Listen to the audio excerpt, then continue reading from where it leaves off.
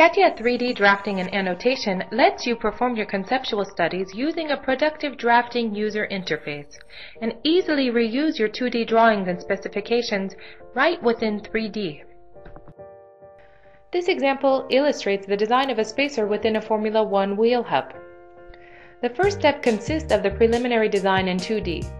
Taking advantage of both 2D and 3D geometries in the background, you can create 2D specifications on top of which you can later build your associative 3D model.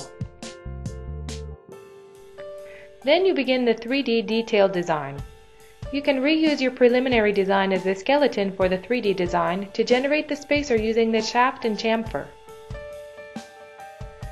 You can then propagate the change in the whole assembly thanks to the automatic PLM update tool. As a result, you quickly visualize the whole assembly being synchronized with the new spacer.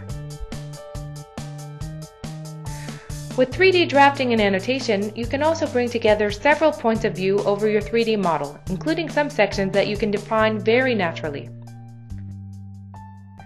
You are then able to easily annotate, dimension, and tolerance your 3D model, getting a crisp presentation of your design.